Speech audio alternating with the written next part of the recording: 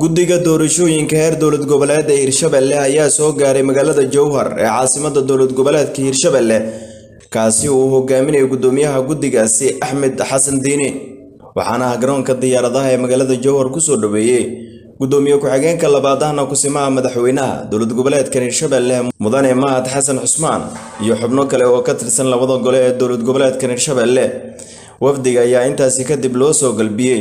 Xarunta madaxtooyada dowlad goboleedkan hirshabelle halkaasoo ay warbaahinta kula hadleen.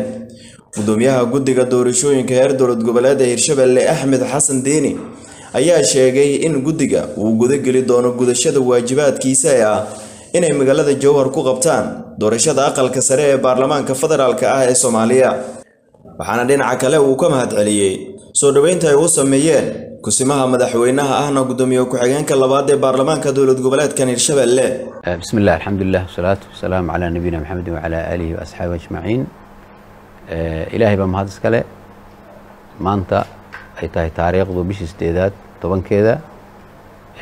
Waxaan annagoo ah guddigii doorashada siidka loo yaqaan hirshabeelle waxaanu soo gaarnay magaalo madaxda hirshabeelle jowhar. Ilaahay waan nabad keenay. Waxaa nagu soo dhoweeyey gudoomiye guddoomiyaha baarlamaanka hirshabeelle ku-xigeenka ahna kusimaha madaxweynaha hirshabeelle.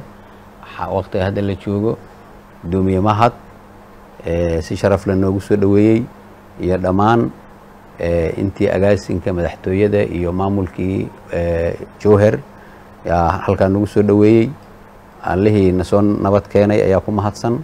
Waxaanu halkan u nimid insha allahu sida la ogyahayba shaqooyinkii iyo howlihii bilowgood.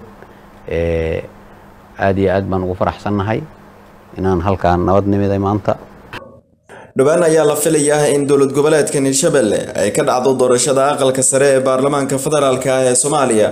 Kadib markii dhowaan guddoomiyaha baarlamaanka dowlad goboleedkan hirshabelle uu soo saaray xubnaha guddiga qabanqaabada ah doorashooyinka aqalka sare ee baarlamaanka federaalk ah ee soomaaliya.